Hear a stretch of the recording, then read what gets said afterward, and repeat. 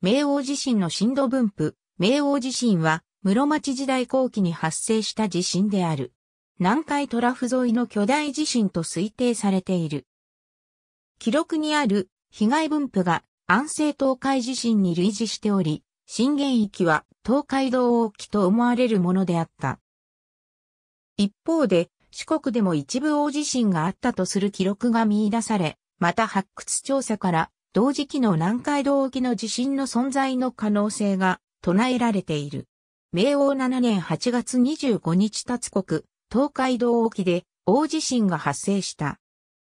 お湯殿の上の日記、実高後期、五方向院記、時国狂記及び大乗院寺社雑事記等に、京都や奈良など、機内付近の記録が見られる。時国狂記や、お湯殿の上の日記にはうるう10月まで、実高後期には11月7日まで余震と思われる地震の記録がある。機内の被害と思われるものは、大乗院寺社雑事記にある、幸福寺と見られる、地蔵堂の久しが崩壊した記録である。五方向院記の東海道沿岸における記録は、伝聞によるもので、大地震の日、伊勢、三河、鶴が、伊豆大老田宿力、海辺に三十町の民奥室的水、人没命、その外牛馬類淵その数云々、前代未聞ことなりとある。1096年永朝地震では、駿河や伊勢の津波被害は伝聞として伝えられ、京都で書かれた日記に記事が見られた。しかし、明王の頃になると、機内付近のみならず、東東海や駿河で記された記録も確認されるようになる。紀伊から房総にかけて、太平洋側で振動が強い。山梨県山梨市の久保八幡神社別当、普賢寺の大大記、明王七年城には、同24、ママ、達国、天地振動して国書所存、金山崩れ神崩れ中山尊と記されており、海の国でも強い揺れであったと考えられている。甲州では、黒川金山をはじめ、中山金山、保村金山など、震源時代に採掘された金山があり、大台記にある中山は中山金山と考えられる。あるいは大台記に記される金山は地理的関係から甲州支援山の黒川金山とも考えられている。各地の揺れは江戸時代の安政東海地震や宝永地震に共通するが、侵害の記録は少ない。侵害はそれほどでもないと記す文献もあるが、円通衝動前事語録によれば、東東海では山崩れや地割れがあり、同書に記された浅場低地付近の揺れの激しさの描写は震度7に相当する可能性が高い。熊野年代記の記録によれば、熊野本宮の社殿が倒壊、那智の某社の崩壊、ギーユの峰温泉の湧出が10月8日まで42日間停止した。川角博士により規模 MK イコール7.5が与えられ、マグニチュードは M8.6 に換算されている。また、M8.3 前後、あるいは東海沖から、伊豆半島南方沖と推定される断層モデルから、地震モーメントは M0 イコール 7021nm と推定され、震度分布を推定する記録もこれ以前の地震より、はるかに充実しているが、江戸時代の地震より記録が少ない歴史地震であり、断層モデルによる近似の程度も悪く数値の精度は低い。震源域の東端が駿河湾に入っているのではなく、センス海霊系の活断層が本地震に関連しているとの考えもある。津波は、キーから房総にかけての沿岸に襲来し、波高は、駿河湾沿岸のエリア小川で8メートル、伊勢、島で6の10メートルであった。津波規模は、安政東海地震を上回り、伊豆半島西岸や島半島では、局所的に大規模な津波が襲来していた。南海トラフから東寄りに津波の波源域が拡大している可能性があり、震源域をセンス断層に仮定すると、島半島から御前崎、伊豆半島、房総半島に至る波高が説明できるとする説もある。明王地震により消滅した浜名湖の陸地、東映館には諸国大地震、遠州前坂と坂本の間の川に津波いるり、一里余りの渡し市となるゼオ、今切れとゴース、東都海国風土記伝には、湖水辺ため潮海確かとあり、かつて淡水湖であった浜名湖が津波により太平洋とつながり紛れと呼ばれる湾口を形成し、湖が拡大したと伝えられている。津波は鎌倉の鶴岡八幡宮参道にも襲来し、また高徳院の大仏殿はこの地震による津波で倒壊して鎌倉の大仏が室町時代末にロザとなったとする説がある。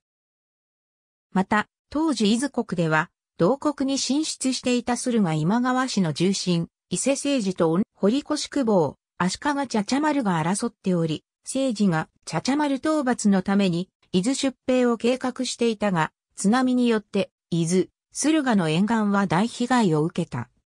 だが、津波による混乱で、戦いが不利になることを恐れた政治は8月末までに、動員可能な兵だけで、伊豆の深根城にいた茶々丸を襲って、皆殺しにし、これを攻め滅ぼしたとされる。西名では、海岸から18九丁内陸まで津波が到達したという。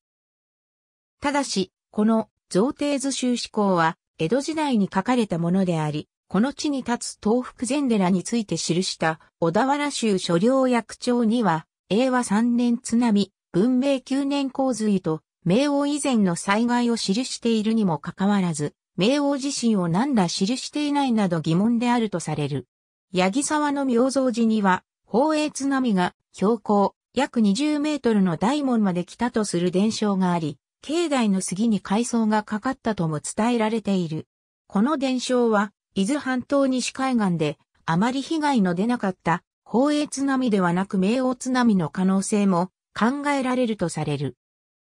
沼津市戸田地区の平目平には、平目が打ち上げられた伝承が存在し、平目平の標高から津波の遡上高は36メートルに達した可能性が指摘されている。林総院はじめ期に、これは昭和初期に発刊された静岡県志田郡市に引用された林総院はじめ期の記述を後の研究者が志田郡でと誤読した結果であり、地震全体の犠牲者数を林総員がまとめたもので、あると考えるのが妥当とされる。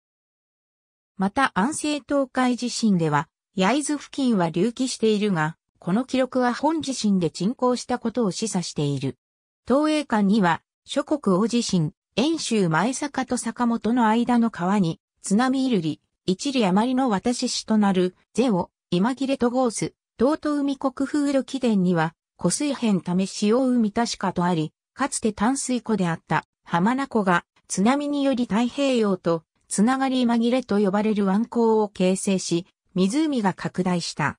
かつて浜名湖から遠州灘へ流れていた浜名川に架橋されていた浜名橋ともとに栄えていた橋本は津波で壊滅的打撃を受け、その後新居に移転し、その新居も宝永津波により今切れが拡大し再び移転を余儀なくされた。ただし、今切れが通じた時代には資料によって諸説あり、東都海国風土記伝には、応永12年、大波この先破る、あるいは曰く、文明7年8月8日、明王8年6月10日、神雨台風、潮海と湖水の間、駅路没死、とある。また、重変王人記には、永正7年8月27日から翌日にかけての津波によって浜名湖が海に通じて今切れを生じたと記録されている。港町として栄えていたあの大津は遺跡の発掘から16世紀初頭から18世紀初頭頃まで空白期が見られ、明王地震津波で壊滅的な打撃を受けて荒廃し、宝永地震以降に復興が始まったと推定されている。また、大英2年にあの津を訪れた総長は、総長日記で、この津、14年以来荒野となりて4五千軒の家、東跡のみと記している。内都領館記には、近藤大地震の高潮に、大港にはや千万四人五千人居留士とうんぬん、その外、伊勢島間に、あれこれ一万人居も留士なりとあり、伊勢大港で、家屋流出船、歴史五千、伊勢、島で歴史一万とされ、宮川河口付近にあったと推定される塩屋村では、塩浜が被害を受け園業が成立しなくなったとされる。木では木の川は、かつて川口付近で南流し、現在の若川が本流で、若浦に注いでいたが、T 族風土期の記述から、現在の河口位置に変化したのは明王から、寛永年間の間と考えられ、明王年間に住民や自社が綿浦から港村に移転したとする伝承があり、明王津波で被害を受け、木の川が現在の河口位置に移ったとされる。ただし、貴族風土記の記事は、明王の筆津波、また、和歌山県神社寺院明細町では、明王の解消とあるのみで、具体的な年月日の記述はない。熊野本宮の社殿が倒れた。島半島の三重県鳥羽市、国崎町は、最大波高15メートルに達したとされ、大津集落は、明王地震津波で、壊滅的な被害を受け、地震後住民は高台に移転し、その後500年間、2011年現在に至るまで、低地に戻らなかった。漁師は高台から浜に通うのが普通だという。1707年の宝永地震津波、特に安政東海地震では、国崎は津波得意点となり、上福寺津波流出等の碑文によれば7条5尺にも達したと記録されている。痕跡が発見されたとする報告。痕跡は発見されなかったとする報告。鎌倉大日記には明王4年8月15日に大地震が発生し、由比ヶ浜から三景道に津波が押し寄せ、高徳院の大仏殿が破壊され、歴史者200人余り出たとある。明王4年を壺8月15日、大地震洪水、鎌倉由比浜海水至る鮮度団、水星入りおさらぎ戸の波動車や、歴史人200余り、大日本地震資料贈呈では、この記録は明王7年8月25日の地震の誤記の可能性有としている。宇佐美も、この記事は疑わしく明王7年8月25日の地震との混同の可能性有としている。一方で同日、お湯殿の上の日記に、地震ゆる、五方向陰記にも、15日おっちゅうばれ、鳥国地震との記録もあり、少なくとも、京都においてこの日、勇敢地震があったとされ、また、古代、中世には、未だ巨大地震が隠されている可能性があり、1495年の地震は、相模トラフ巨大地震の検討候補とされている。熊野年代記にも同日に、鎌倉大地震とあり、複数の資料からこの日の地震の存在が裏付けられている。ただし、熊野年代記は、近世成立であり、鎌倉大日記をもとに書かれた可能性が高い。現在のところ、鎌倉の地震津波を記述する確かな資料は鎌倉大日記のみである。静岡県伊東市教育委員会の金子博之主査を中心とした宇佐美遺跡の発掘調査で見出された砂層が15世紀末頃の津波堆積物であることが判明している。この堆積物は標高約7.8メートル付近に存在し、南海トラフの地震津波では説明できないことから、明王関東地震のものである可能性が高いとされた。また、878年の岩行地震と887年の仁和地震、1703年の元禄地震と1707年の宝永地震を例に、相模トラフと南海トラフが震源と推定される巨大地震が連続しており、1495年と1498年の地震も同様に連動した可能性が示唆される。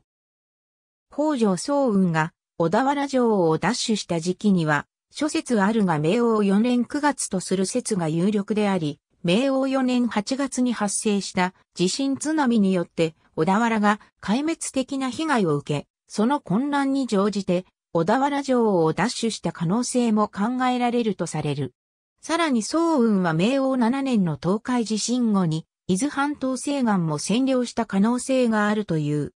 お湯殿の上の日記、五方向陰記、属死具章などいくつかの資料に明王7年6月11日、ミサル国、機内付近における大地震の記録がある。ただし被害記録は見当たらず、資料数は明王7年8月25日の地震より、はるかに少なく、五方向陰記では8月25日の地震について、新寺大地震、さ6月11日地震1倍異なりと述べていることから、京都において8月25日の地震は6月11日の地震の2倍の強さであったことになる。一方、1854年の安政地震については、京都付近は東海地震と南海地震は同程度の揺れであったと記録され、京都における震度は共に4から5程度と推定されている。同日の未国に、日向灘が震源とされる地震があり、宇佐美は別の地震と考えるとし、九州軍記には以下のように記されている。土の絵馬6月11日の中国より旧国の大地震、暇なく、新文の国に至りて派天第二名渡り理事をびただし、風渡るに、新風山崩れて、破壊川に入理事列手波泥有出る神社仏閣の鳥居石非下藩派天等せり民国配中も全カラス、今度の地震波旧国のみに不言四国中国機内、東海北国欧州の果てまでも、残留所、なしめ大地震の歴史記録は、東海道沿いのみで、ほぼ同時期に連動する可能性の高いと考えられている南海道沖の地震の記録を書いたものとなっている。この時期は応仁の乱以来戦乱が続いた時代であったため、詳細な記録が残されるような状況になかった可能性もあるとされる。1988年、高知県中村市四万十川支流の中筋川岸辺に、ある和ゾの遺跡から15世紀末頃の噴砂が上昇した痕跡が発見され、1993年には、阿蘇の遺跡に近接する船戸遺跡で地割れに石を並べた痕跡が発見された。阿蘇の遺跡では、噴砂痕より、後の年代に人間の生活の痕跡が見られない。徳島県板野町の吉野川中石低地では14世紀後半から16世紀初頭までに存続した集落跡の調査で液状化現象による噴砂の痕跡が発見された。加えて、愛媛県新居浜市の黒島神社文書に、明王7年の震災に、大地大に買い崩し、島の67歩は流出し、この度23の石島となれり、明王7年の震災にかかり、本殿拝殿とも破壊し、住民司法に散乱しという記述が存在することが判明し、四国における15世紀末頃の大地震と思われる記録、痕跡も発見されている。また、明王7年6月11日ミサル国には、九州において家屋倒壊被害の記録があり、伊予では陥没などの地変を筆頭に、日向灘地震と推定される地震の記録があったが、同日には、機内でも地震の記録が残っているため、これらが同一地震ならば、震源域の変更が必要ともされている。木の川川口付近の綿浦の津波は、南海道沖の地震の可能性があり、さらに、中国地震歴史資料異変には6月11日、蘇州で核融が巨池及び異戦神道、交友数尺、吉久の帝の記録があり、中国のチャンス省、石膏省では、揚子港をはじめとする川の水面の振動、池や井戸の水面の変化が見られ、同様の現象は、宝永地震や安政南海地震でも観測されていることから、上日の日向灘地震とされた地震は、南海道沖の地震であった可能性も指摘されている。これが事実ならば、南海道沖の地震が東海道沖の地震に73日先行して発生したことになる。一方で6月11日の地震を南海道沖の地震と断定するには、津波電波のシミュレーションなど、さらなる作業を必要とし、むしろ、木の川川口付近の津波を東海地震と同日の8月25日と考え、明王地震は宝永地震と同様に、東海道沖の地震及び南海道沖の地震が連動した可能性も検討すべきとされる。九州軍機の記述を話半分に聞けば、九州付近で起こったスラブ内地震であるという解釈も可能であり、また、都事が南海地震の根拠としている上海付近の静止と推定される水面の振動は南海道沖の地震に限らず安政南海地震の最大余震である、宝与海峡地震の時も見られたことから、6月11日の地震は、フィリピン海プレート内地震の可能性も考えられ、このプレート内地震が、京都付近で強振動をもたらすことも十分あり得るとされる。さらに、もともと信頼性に問題があるとされた九州軍記は100年以上後に描かれた創作であり、明王7年の地震に加えて、慶長文後地震なども軍機の捜索に影響した可能性も考えられ、6月11日の地震が日向灘地震であった可能性は否定されるとの見方がある。ありがとうございます。